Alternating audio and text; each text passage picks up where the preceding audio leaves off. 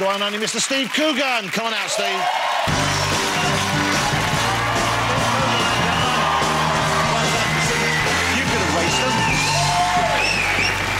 Steve Coogan.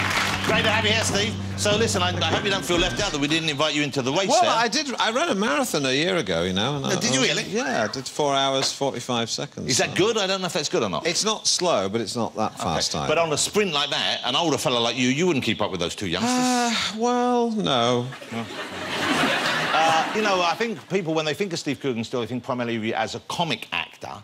Uh, but you're broadening out, certainly. This new movie, it shows you in a new light. You're, it's a, it's a, a media role than the ones we've seen you in the past. That's another way. Of, another way of saying it's not very funny. it's funny at times, but it's not meant to be funny no, all the it's way not. through, no, it? it's it's a drama. I mean, it's a drama with funny bits. So the film's called Look of Love, and you're playing Paul... Is it Paul Raymond or Paul Raymond? It's Paul Raymond or Raymond, whatever. He was the man who basically transformed Soho and introduced the notion of nudity to London and strip clubs and what was most famous, the Raymond Revuebar, uh, at a time when the, you know the, the, when naked women didn't really exist um, uh, in terms of like being able to look at them. Um, And he made himself into one of the richest men in the country in the process, didn't he? well, he did. I mean, he ended up when he died. He owned most of Soho, and in fact, still his, his estate owns most of Soho. When, when Soho was when Soho was a very seedy area, he bought up all the property, and now it's a very trendy area. And of course, it's worth a lot of money now. But people have changed a lot since the 70s. I mean, when you look back at the kind of the magazines that Paul Raymond published... Uh, Which, of course, we grew up with. Yeah, and they were education. and they were very, very much appreciated at the time. But it's very different to the kind of things that people see now. And they No, mean, uh, looking back at the sort of thing that people regard as, as porn in well, there's a it- cover it- of one of them from the 70s, and It- that's yeah, it, it's sort of it looks actually a bit uh, almost uh, quaint compared with what you can get access to these days. Um, and of course, all, all the women had to, uh, in the scenes with me, had to wear what they call merkins, which are pubic wigs. Um, sort of uncomfortable, nervous laughter.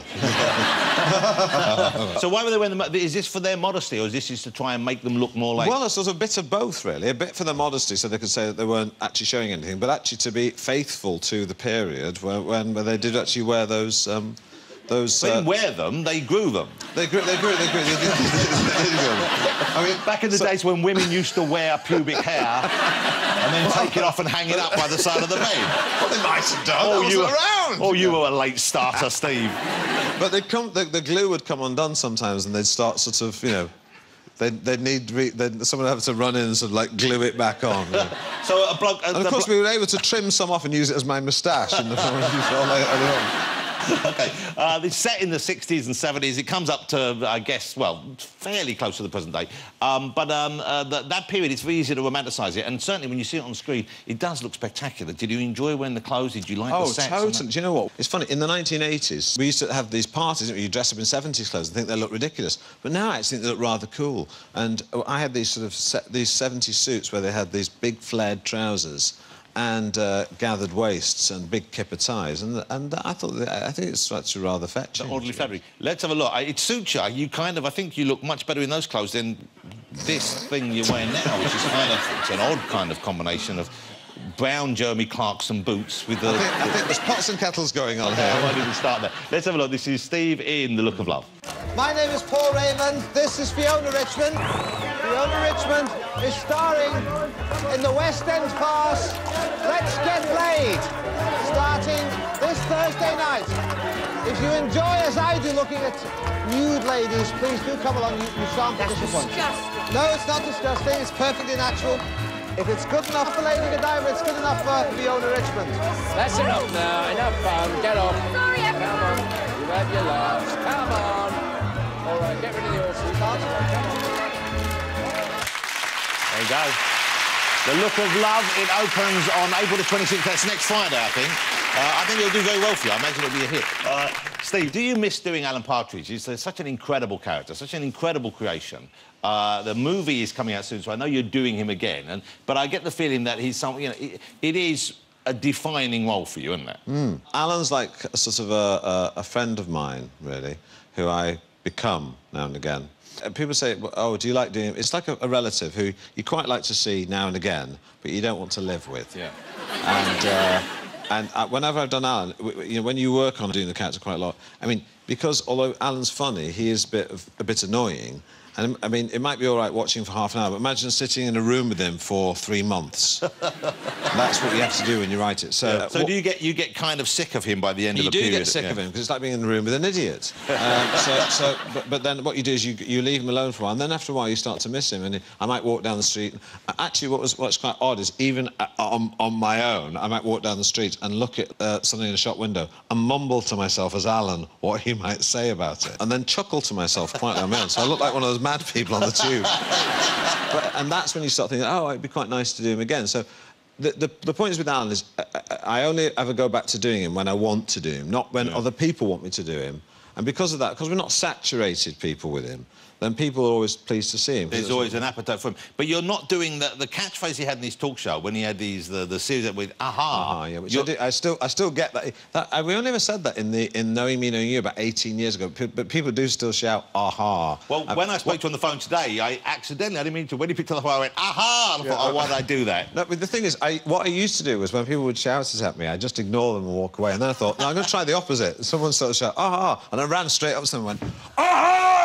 And they went, all right, OK, all right, leave me alone. That's the way to deal with him. Yeah, That must be exhausting. yeah. Uh, but you're dropping that catchphrase? He doesn't use that anymore? Or He, was- he- was he it- doesn't use it in the film, but I mean, I, I, we do there's these sort of webisode things. I mean, it's not like, I mean, it's not, it's just not in the film. Yeah, yeah, yeah. So the Alan Partridge movie, this is a proper movie. It's a proper Yeah. movie. It's going to be at cinemas. It's going to be out in August, I think, is what, Yeah. what you're planning. So you must have finished it, I guess. It's all finished. We're editing it right now. We're trying to get take out the unfunny bits and just keep the funny bits. That's always a good That's plan the with the comedy. Uh, what's it called?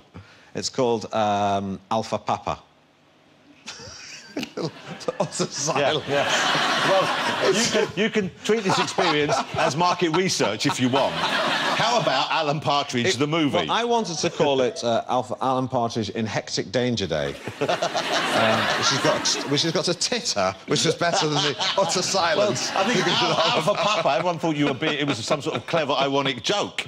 So Alpha Papa would be what if it was a code well, thing? Alpha Papa is uh, Alpha, you know, the uh, police uh, alphabetic. Fox, sort of- Tot, Trot, Tango. yeah, and all that sort of. Uh, Alpha yeah. Papa. Alpha Papa is Alan's initials. In, I don't I know. be honest? I've got to be It wasn't my idea. to be honest. It's probably the worst film title I've ever heard in my life, and I'm thrilled you've come on the show and we've dealt with this early to save you from the crushing disappointment if you were to release a film that you've laboured long and hard on called Alpha Bloody Papa, and no one goes to see There's it. no bloody in it. What's the story? What's the plot? How much can you Um, say? Well, Alan is in Norwich and he's DJing on his on North Norfolk Digital. but a big horrible company called Gordale Media, bit like News International, uh, comes along to take over the radio station and rob it of all its personality and and change it to uh, from North Norfolk Digital to Shape. Yeah. And, and there, lots of people get sacked, and it all goes. And basically, uh, uh, to a long story short, it ends up in. Uh, there's a big siege at a radio station, with all the world's media descend on it, and Alan is at the centre of it as a kind of the negotiator between the. Uh, The old and the new. The gunman and the police outside, and it's. Uh, I'm really looking forward to the Partridge movie, and I'm hoping, and I'm sure it will, that uh, Look of Love will be a big hit for you. Because I imagine, is that where you want to go more more into straight acting? I know it's a comedy as well, but, you know, it's a, it's a bigger role, I like it? to do a bit of everything, Jonathan, as well, you know. Uh, it's great to see you again. Nice to see you And too. I'm thrilled you're doing so well. I'm thrilled there's more Partridge coming as well. Ladies and gentlemen, Mr. Steve Coogan. Thank you. Thank you, Steve. Steve, that's. OK. OK. Don't go away. After